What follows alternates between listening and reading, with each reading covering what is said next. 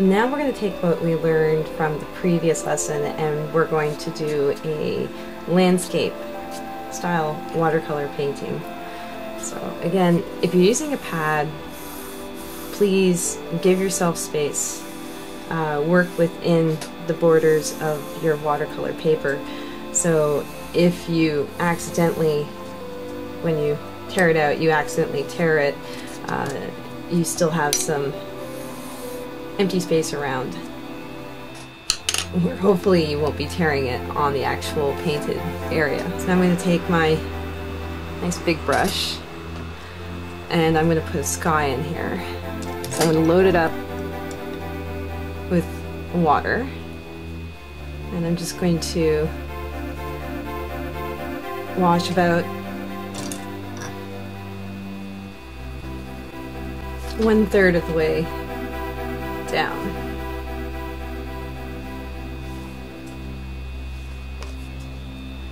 I'm just going to take a pencil. I'm going to mark that where I actually got some water.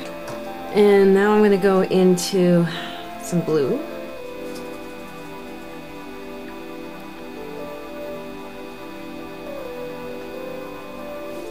And I'm just going to put some color in, conscious of where I want cloud coverage to be.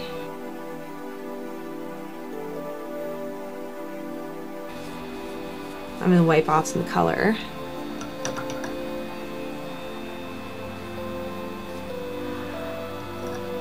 And I'm going to put another shade of blue in.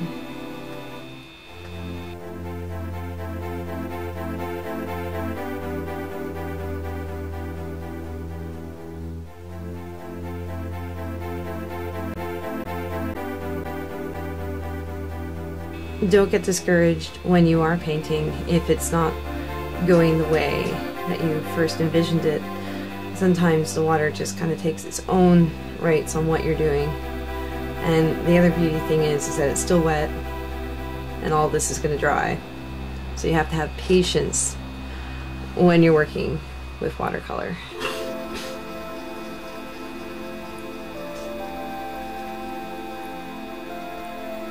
Now I'm going to load up some yellow. And working across on the areas of the canvas that's dry, I'm going to put a nice strong wash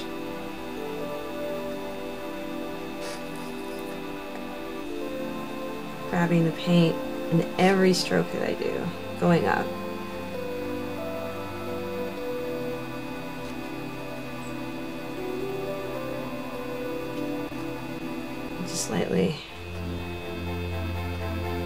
Pushing it up.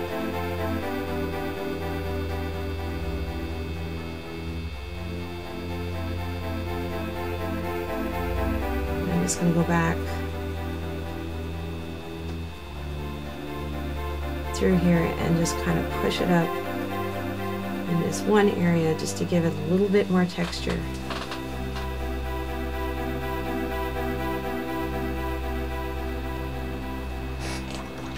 Let that dry for a little bit, but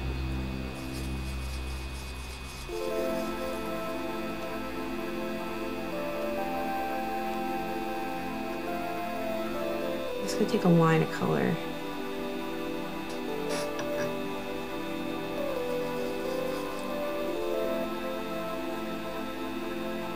A little bit more orange. Now I can show you guys some blending techniques go back into the original yellow that you were working with before. And drag it into one direction. Clean off your brush. Grab more yellow. And remember to clean and dry off your brush. Load it up with more paint and just pull it down.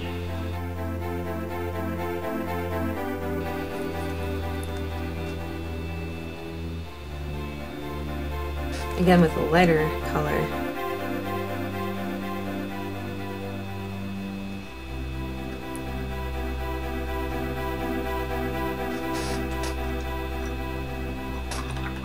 And you see, you should notice that your canvas is starting to, to pull and warp with it.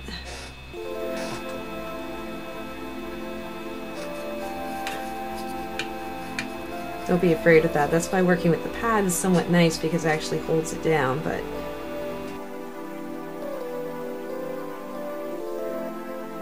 So I've pretty much put down my first application and we're going to take a break and wait for this to dry. Okay, so we're back and uh, now I'm going to make a couple decisions here and it's almost dry. It's still a little damp. So what I'm going to do is I'm going to wet some paper towel. And I'm going to get this one area fairly wet so I can lift off some of the paint.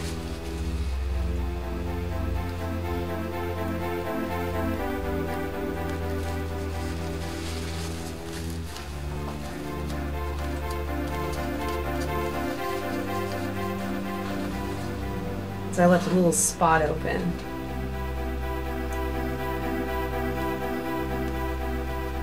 Can also go in, it's still kind of damp, and take your finger and just gently rub it out too. And with pencil, I'm just going to lightly map out where lupus is going to be, very lightly. That way I can better position things going forward. Now I want to grab a really small brush.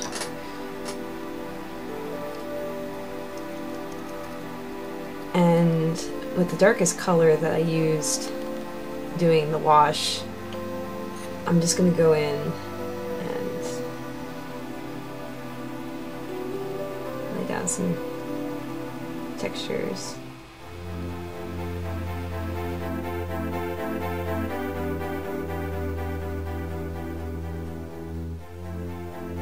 Working from a source photo, so I recommend when you when you first start off with watercolor that you do work from a source photo uh, or a previous sketch that you have done, and uh, you want to constantly be looking back and forth between your subject uh, and your canvas or your watercolor paper.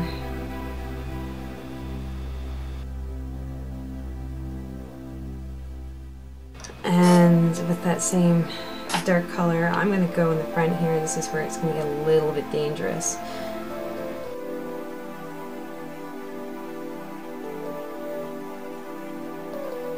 And I'm just going to trace out where I'm going to give these sunflowers a home.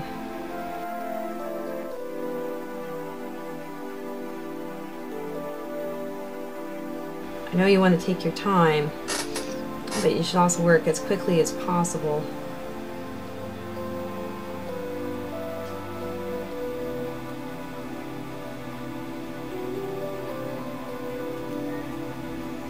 So that you can still work with the paint because it's always easier to work with the watercolor when it's still wet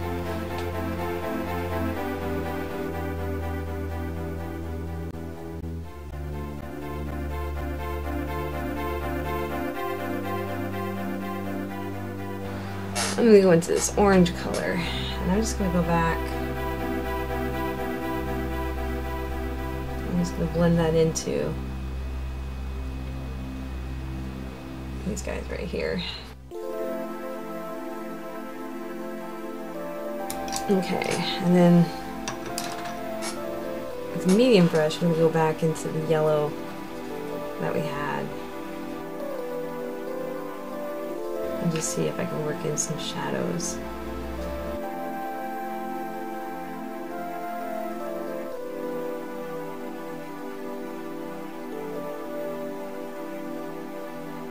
Just go back and put more water in.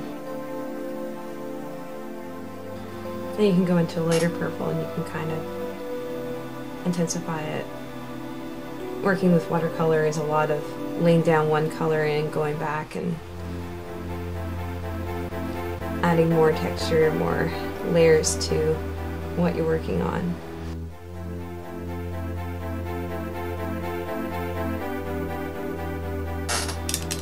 And while that's still drying, I'm going to go in I'm going to get some green. And all these little areas here, I'm just going to see where there's some white. I'm just going to dab in some green.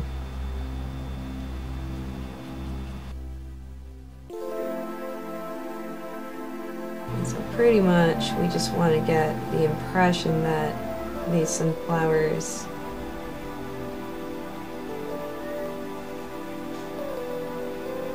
are planted all in a row.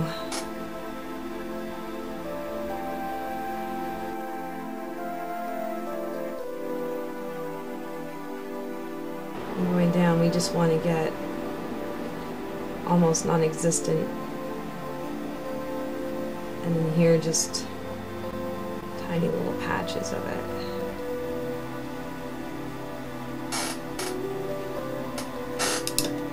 Okay, so the easy way to do this, get your big brush, load it up with that yellow.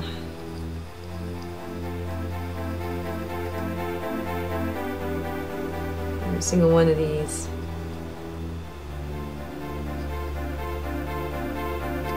You're just gonna put paint down, blotting over top of it.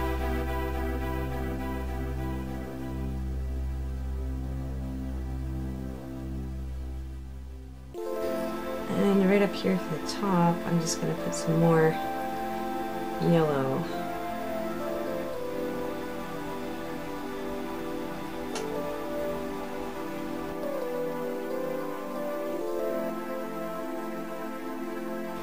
So what you're doing is you're trying to de-intensify the blobs, which are basically going to be the center of the sunflowers. I'm just going to take a little bit more of an orange color and just kind of put it through here.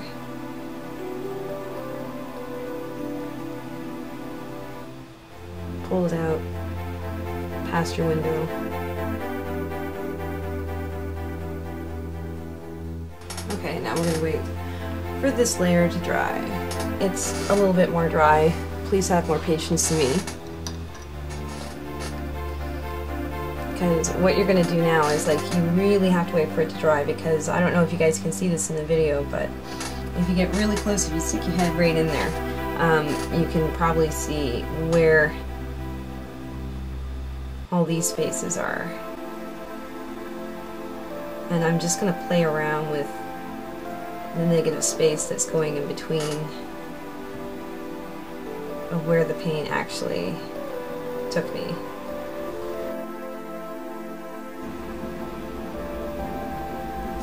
Just capture some shapes left in by these sunflowers.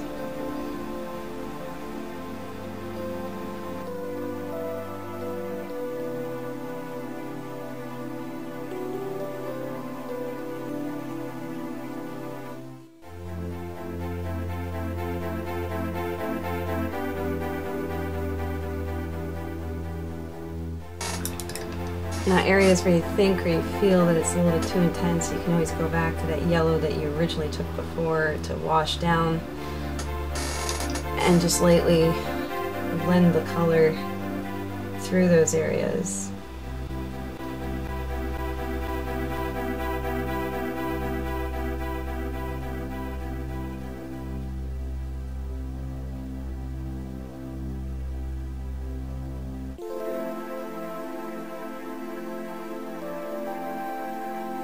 And I'm kind of doing like a, a wrist job just to kind of give you guys an idea. Please take time. When you're doing areas like this, you, you really want to work quickly. You want to get a lot of color in and you just want to be able to, to, to pull out the darkness.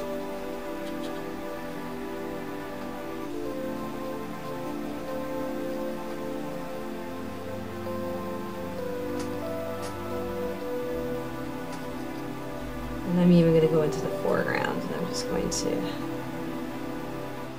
intense some of these sunflowers up. Alright, now we're just gonna let that dry. Okay, uh, we're almost dry. There's still a couple of wet areas here and there. So I'm just gonna go in with my Copic. And it's a 0.1.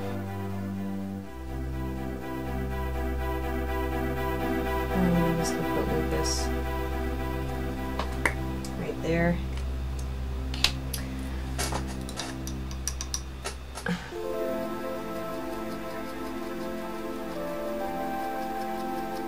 Off to the side here, I'm just going to drag off a lot of paint and see if I can get my brush to its fine tip. And I'm just going to paint in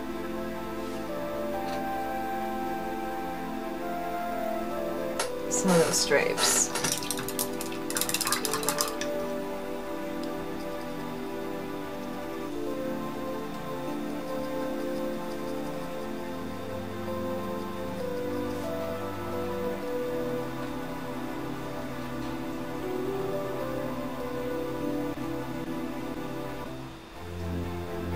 And I highly recommend using Copics because the ink doesn't run.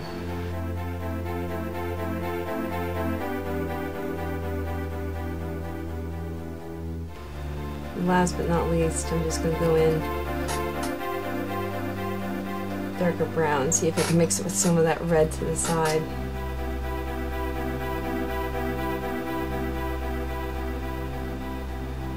And just kind of intensify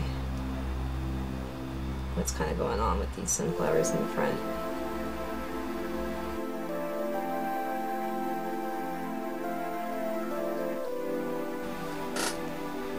And if you really want them to stand out, you'll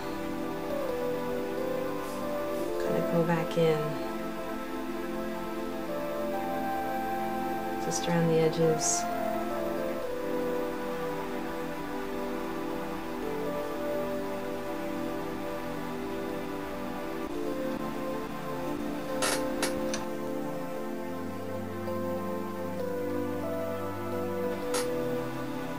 Watercolor is a very long process.